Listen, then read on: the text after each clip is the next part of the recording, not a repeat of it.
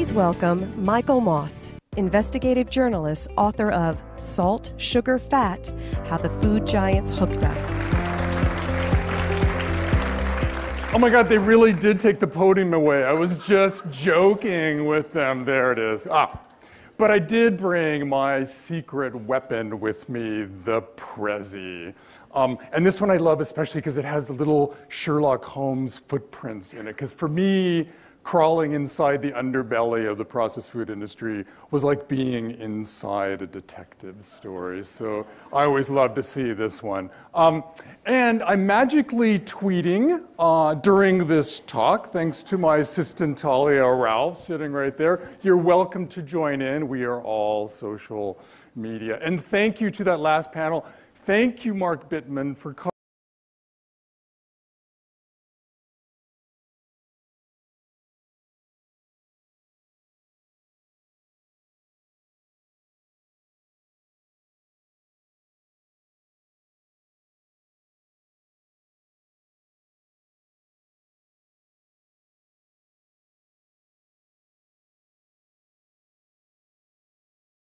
unhealthiest items in the grocery store, and a poster child for, let's say, exuberant snacking. And five years later, Nestle bought a canned drink that gave it the means to pursue one of the grimmest aspects of overeating. Every year, some 200,000 food weary people have their stomachs surgically shrunk to lose weight. And canned drinks like this are the way they stay alive going forward. Gorge on Hot Pockets, drink your food. Get them fat, get them thin. Page 337 of my book, Salt, Sugar, Fat. Whoops, that's not it. That's the book. Um, and I laugh every time I see this cover um, because the artist went into his favorite grocery store, took out his favorite products, tore out the labels, you could still see the tear marks on it, and rearranged the letters to reflect what's really going on inside these products. Kind of, sort of like I do with the book. So imagine my surprise last summer when Nestle, the largest company of all, called me up from their fabulous headquarters on Lake Geneva and said, Michael, we want you to come talk to our private gathering of our 60 some research and development officials. And these are them in the room. Um, and I'm going like, what? I mean, these are the people who invented and nurtured Nestle's 29 mega hits, what they called the billionaire brands. Nestle may have started out with infant formula, but as one of its scientists quipped to me, it's now a Swiss bank that prints food. And my oldest son, Aaron, said to me, Dad, I hope you're not wasting our money on a round trip ticket because they're going to like throw you off the Matterhorn. but no, they, they have a new leader of R&D, and he convinced me that they're changing. He said, no, Mike, Michael, look, you know, you know, you need to come tell them all the bad stuff they did so they can work really hard at doing good stuff. So I got on a plane and I flew to, to Lake Geneva and I went to Nestle and I gave them the full hour book talk. And here's the Cliff Notes version, because I'm going to spare you that. The food giants have been working day and night to get us to not just like their products, but to want more and more of them. They engineer salt for the maximum of what they call the flavor burst. They pile in the fats like processed cheese for the silky, smooth, addictive quality of what they call the mouth feel. And they perfect the amount of sweetness in products to create what they call the bliss point. Like this little bit of bliss point engineering that a legend in the industry, Howard Moskowitz, trained in experimental psychology at Harvard, did recently for Dr. Pepper in creating a new version of soda, in which he started with no less than 61 levels of sweetness, each one just slightly different than the next subjected those to some 3,000 consumer taste tests around the country, threw the data in his computer, did his high math regression analysis thing, and out came charts like this very one, where at the top of the curve is not like the dreaded middle C that kids get graded on in school.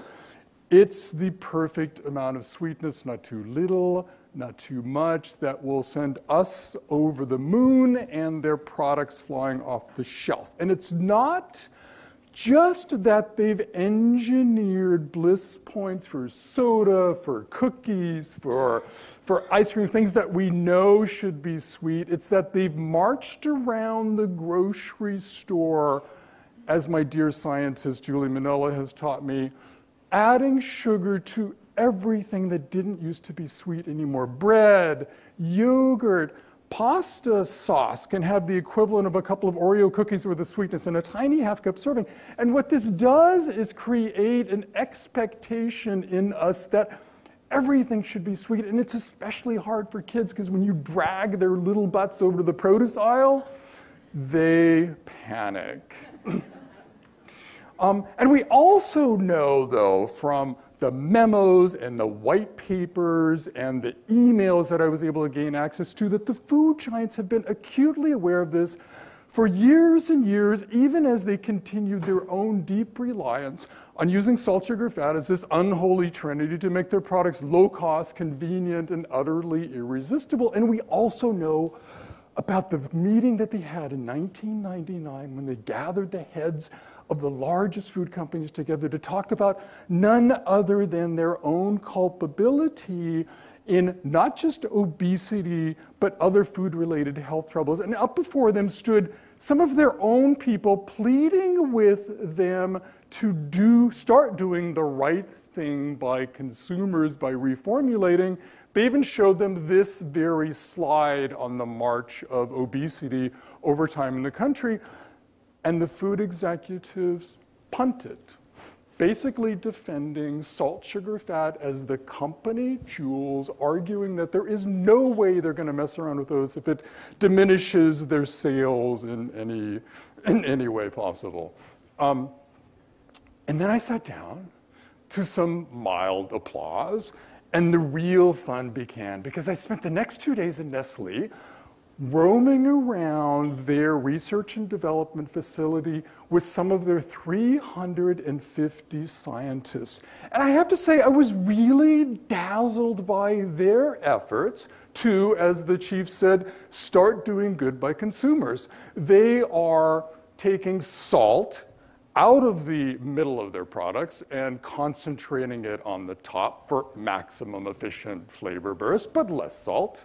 They are taking fat globules and making them thinner and broader so you still get that addictive mouthfeel of the silkiness, but for less fat glob.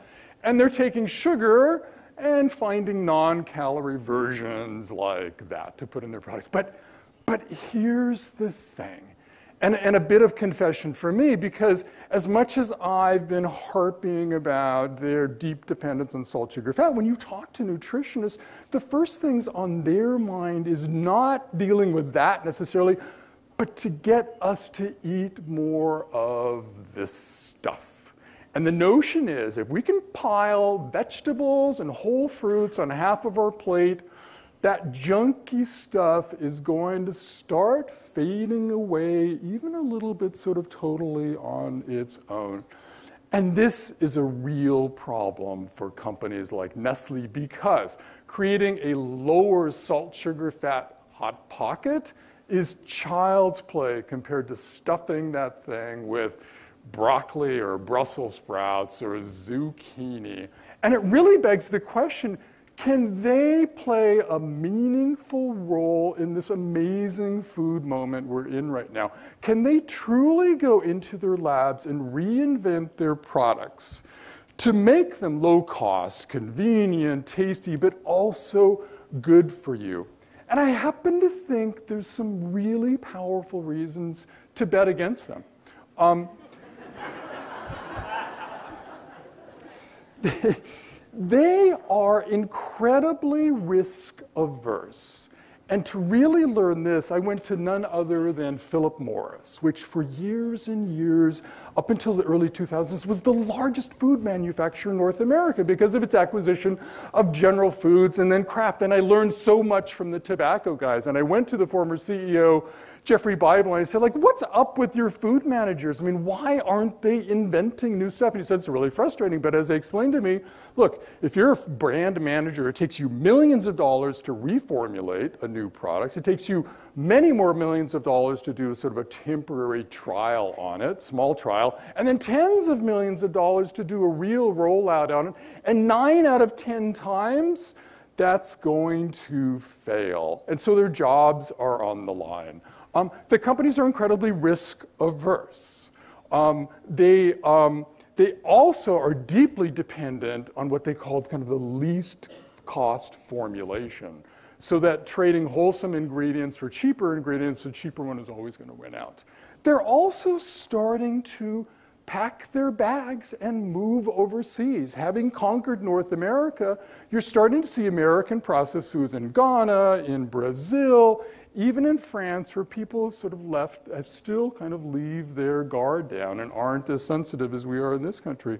Um, and, um, and, and lastly, they are committed to making money. I mean, that's what the companies are all about. And it's a very difficult thing for them to sort of get over the hurdle of figuring out how to make money with healthier products.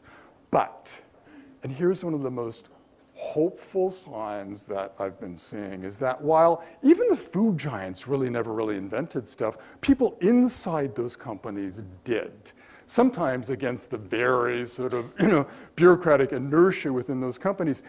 And some of those same people, the food product engineers, the marketing people, the executives, are now switching sides. This is a huge moment we're in right now with food. More and more people are caring about what they put in their bodies. They are making purchase decisions that's taking a toll on the profits. One after another of the largest companies went before analysts early this year, reported dismal profits, and the more honest, forthright among them accredited that to consumers losing trust in their products. And up in this, in this arena has come this upwelling of startup ventures.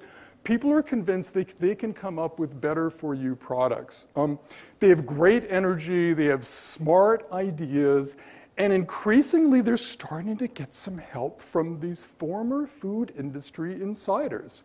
Um, we have people like Ed Martin, used to work for Kellogg's. He was part of the marketing analyst. He was part of the team that invented the dessert breakfast cereal.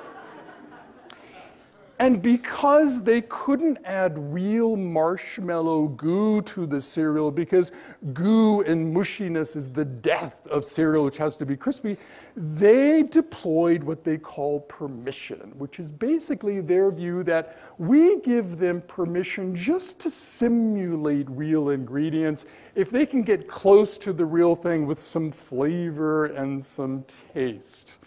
Um, Ed has gone to work for a company called Zaycon Foods, which is delivering meats to consumers at wholesale prices. And to get over kind of this image of a guy throwing chicken off the back of the truck, Ed dipped into his bag of tricks from the food industry and came out with the halo effect. He got one of the biggest, most trusted brands in North America, Chicken Soup for the Soul, to endorse Zaycon, and they're going great guns now across the country with that. Ed is also has a great eye for new inventions. he told me about this thing, container cargoes, where you can grow lettuce and vegetables. The heat from the vegetables will heat the whole thing up, and you can plunk these things down in any food desert in the country and have instant access to those great vegetables we all should be eating about. Um, we also have Jeffrey Dunn, former president of Coca Cola for North America. Jeff Dunn was nicknamed Mr. Body Bags for his fierce, warfare with Pepsi. His dad also was responsible for getting Coca Cola in many of the stadiums in the United States as an incredibly clever marketing technique. Um, Jeff is a big Dodgers fan. I bet him on the recent Dodgers Mets series, by the way. And we didn't bet money, we bet a home cooked meal. So next time I'm in Los Angeles, guess who's cooking me dinner? Jeffrey Dunn, who is a great cook, by the way.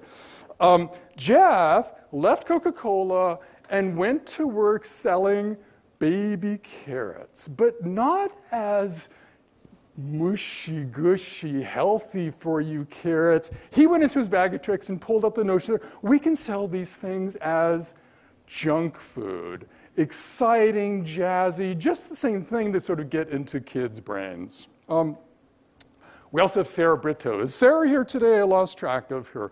Sarah was um, at an ad agency working for Mac and Cheese Kraft when she had one of these wonderful moments that ad people get. She was out canvassing a neighborhood, um, asking people why they liked mac and cheese, and she was with the family and kind of inadvertently told them that, that their neighbors also loved mac and cheese, and their faces kind of light up. It was like this little unshared secret between them. And so Sarah came up with the slogan, You know you love it. Huge thing for mac and cheese. Sarah has now gone to work for an organization called Chefs Collaborative, which is teaching, helping chefs and other professionals change menus, change lives as her uh, slogan for the new group um, says to, to create better restaurant food.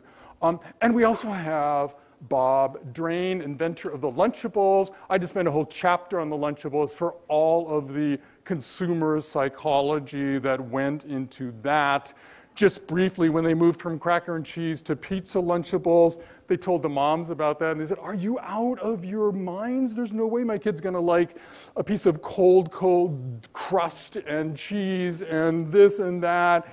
And then they went to the kids and they said, Oh, yeah. Yeah, that's great. And that's when the CEO of Kraft sort of famously said, you know, Lunchables really isn't about the food as much as it is about the empowerment. And so they came up with that slogan for the kids all day you got to do what they say, but lunchtime is all yours. And the great thing about these guys, and Jeff, I'm sorry, Bob Drane now is working at his company called Growth Catalyst, doing things like designing thinner cheese and microwavable meals with real vegetables in them and salsa with more mainstream flavors that can have broader sales. And the great thing about these guys is that they're all over the place, quietly working behind the scenes. This is Bob doing his better thing for you. Um, quietly working behind the scenes. Um, this moment for food, and you really, you really have to grant it to these upstarts. I mean, they're so much fun. I mean, what would you rather have? Rice Krispie cereal with bacon fat added in it to make it hipster? I am not kidding. This happened to me two weeks ago at an event in Brooklyn.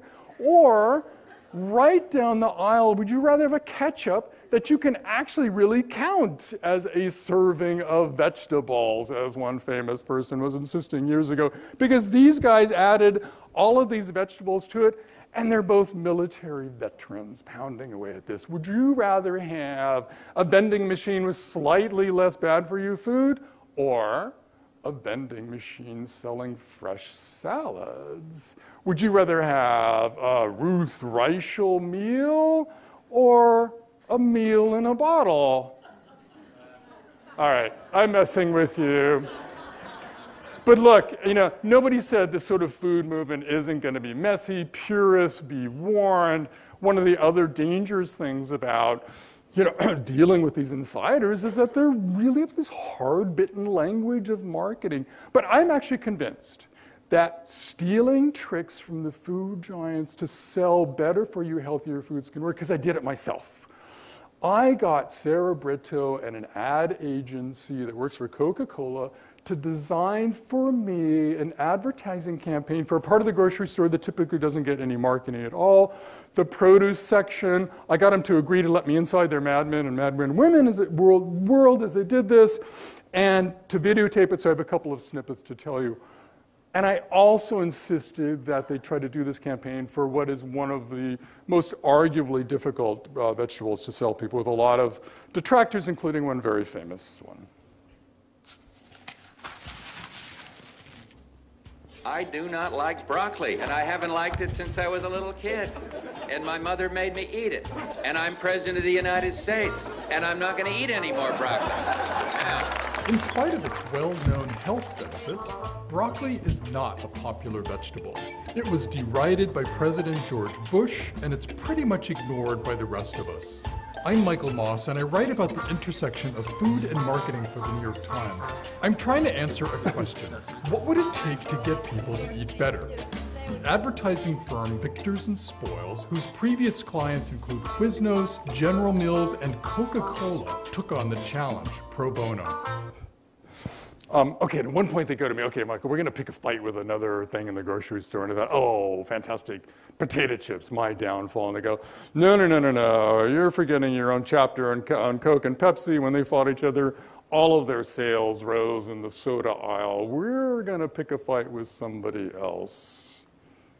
So our key consumer insight that we're working with is that everyone is currently talking about kale. Um, it is everywhere. This is Bon Appetit magazine. There's a whole section on the vegetable revolution in here, and there's a timeline around when all of these vegetables had their it moments. Broccoli is not on this list. There's nothing new or exciting to say about broccoli. Part of our challenge is going to be how to change the visual communication, the visual style of broccoli in culture. That wall over there says broccoli isn't exactly that cool. But maybe there's something cool in not being cool. Like you don't want to dupe anyone, but maybe you know maybe they're in on the joke. I mean, the fact that broccoli's having its own campaign, I think you can have a lot of fun with. The idea of like, you know, broccoli So you're basically saying like, I'd like you to live longer. Here's something that's going to do that. So in essence, broccoli is probably a better gift than flowers. Is it a brocade? oh. That gets a little lost, but that was his answer. I mean, this is how these guys get their creative juices going, right? It's like crack jokes like, like that. Well, so here's what happened. I don't know how we did this, Jerry, but we put this thing on the cover of the New York Magazine. It was totally made up. It was unreal, but it went there. And then it's, oh, and this was, by the way, why the kale people hated me. God, did I hear from them? I'm still hearing from them. It was just National Kale Day the other day, and I was, you know, woof, the emails. But here's the amazing thing it went from being fake to real. Some Yale students picked up on it and did a little experiment in that great food desert called New Haven, and they doubled broccoli sales. The largest broccoli grower on the East Coast adopted the alpha vegetable part of the campaign, which is just fantastic, taking the wallflower broccoli and turning into this, whoof, you know, so assertive. And the Let's Move Obama people have run with it and now have the FNV campaign where they're using celebrities to hawk produce like they hawk junk food. Um, and I really think that this could change not just the produce section of the grocery store, but maybe even. So, what happens when three West Virginia Walmarts decide West Virginia. to take the candy and chips out of one checkout aisle per store and replace them with fruit and other healthy All right, items. you get the picture. West Virginia is doing that, putting fruits and vegetables in the checkout lanes of the grocery stores. This insider movement is so much fun that I really can't help myself. And so when Karen Watson, a food marketing expert, told me about the guy who invented that farmer's fridge thing that I showed you there, I couldn't help myself. And he's actually with us here now. Would you mind coming up and joining us, Luke, for a second? His name is Luke Saunders. And when I heard about this, I picked up the phone and I called Bob Drane Mr. Lunchables to see what Bob Drane could do for Luke's farmer's fridge. But first, tell us just a couple of things about yourself. How old are you? Uh, 29. 29. And what did you do before the farmer's fridge? I was a technical salesman for a metal coatings company. Wow. And that took you into factories? Yeah, so I was going into food factories all over the Midwest, seeing how they make granola bars, cereal, waffles, you name it. And, and what product kind of most impressed you about the prowess of the processed food industry? Yeah, I had made this really long trip down to Kentucky, and I went into the factory, and they were explaining this problem they were having with a, a, a dumpling product. It was a, a, peanut butter and jelly dumpling. and I, I couldn't help myself. The first thing I said to the guy was, Well, who are you selling this to? I've never seen it before. and it turns out they couldn't get people to buy it at the grocery store so they were selling it to schools. That's great. Wow, yeah, wow. So. All right. So Bob Drane got all excited and he spent the last week sort of plugging away. And, you know, I have to apologize. Bob is really into sort of PowerPoints and he sent me, I know, like a million PowerPoints sort of analyzing the farmer's fridge and what have you. Pulling his stuff from the Lunchables. And just, you know, we just have a second to look at this, but this is sort of what Bob Drane is all about and, and the food industry Who's the target? What's the moment, right? That mom is that crazy 7 a.m.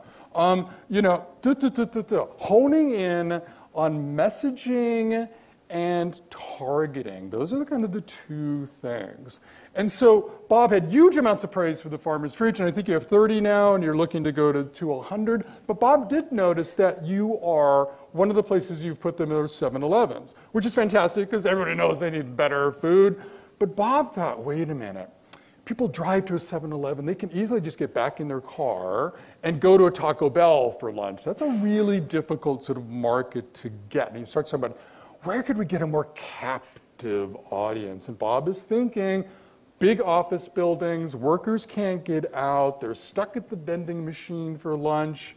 Farmer's fridge to the rescue. And I never really kind of asked you what you thought about that, but going forward? Is that sort of clicking in your head? Yeah, I think we've noticed that places where people are really stuck, they don't have healthy options. This is something that they want, and it works great. Fantastic. Yeah. Thank you, so, Luke. Yeah, good luck you with you. Yeah. yeah, it's really great. Thanks.